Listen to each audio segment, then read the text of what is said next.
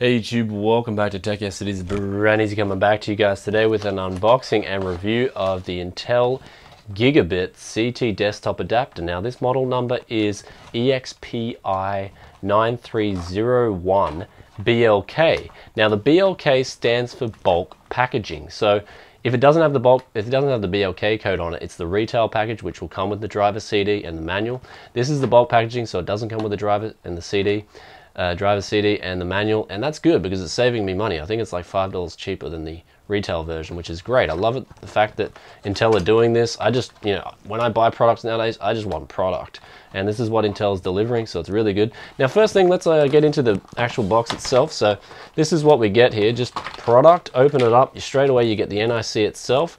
Now, I will say first off that it does have the green PCB. I mean, this is a pretty outdated stuff. I mean, this is like 1990s. I wish Intel would kind of get in with the black PCB theme and make the NIC look really good. That's probably my only thing that I don't like about this NIC, but straight away, let's look at the product. The product itself, it feels really well built. It's sturdy for what it is. It comes with a ATX bracket, standard ATX size bracket there. It also comes with a small form factor bracket if you wish to install this in a smaller uh, case, which is great. I like that. So they're giving you those two things there. Now, in terms of connectivity, this port here is really solid. Your actual LAN cable will go right in there, so it's really good. Uh, fits in and really solid firm connection there. Now with the onboard, it's got a lot of circuitry on board. I was actually surprised it actually is a little bit smaller than I thought it would be. Uh, I think it's about 12 centimeters in length here and it's overall i mean it's, it's just a well-built product. It comes with a lifetime warranty. So for those people who want reliability this thing will definitely deliver. It's a really good product with the lifetime warranty so make sure you keep the receipt. Now this was this product is aimed at people who want a reliable desktop nic i guess if you're in you know if you've got a small business in a server market um, you got your own server, you want reliable NICs to get those high transfer speeds. This thing will definitely deliver. Now I did test this and the transfer speeds are accurate and they're just uh, consistent, basically. That's the way to describe this thing. It delivers consistent speeds at one gigabit per second. It also has the option of auto negotiation, so it can auto negotiate the speeds based on your current connection. If you, you know, if you only need 100 megabits per second, it'll negotiate that. If you only need 10 megabits per second, it will negotiate that. Now, it does support these three speeds at full and half duplex, which is great. I like that. Uh, you're probably wondering, well, why, why would I need 10 megabits per second?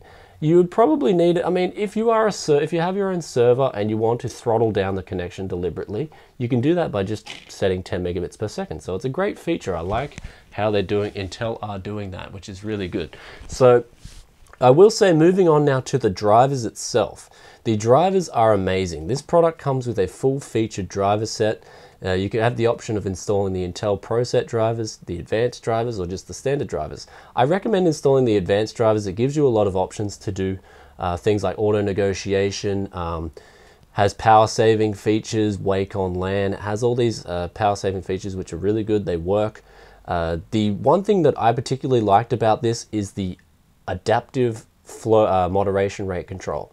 Uh, it has a setting called adaptive. So basically, if your CPU is on full load, this thing will automatically recognize that and will take the load off the CPU. So it's a great feature. Now for the gamers, uh, people who are wondering, oh, should I get an NIC for gaming?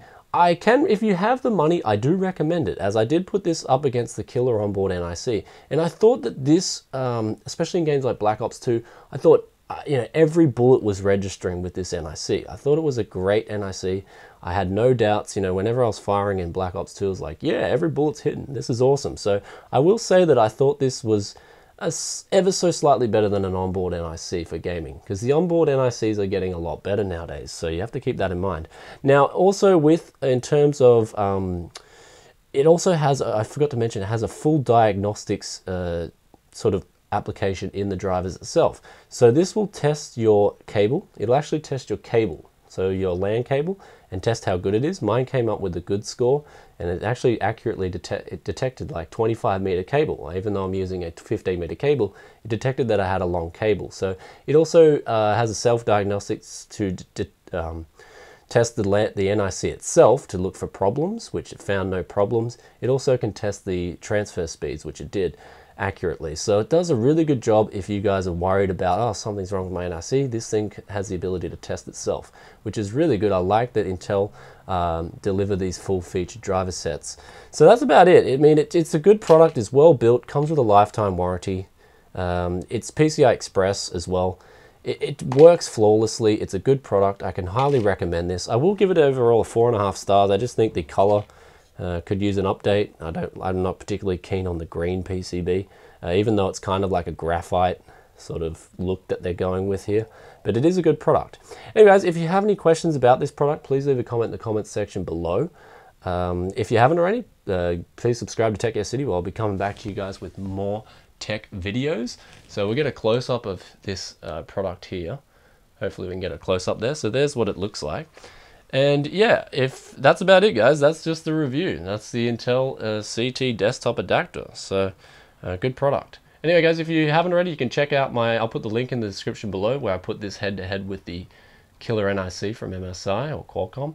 And yeah, peace out for now. Bryaneasy. Bye.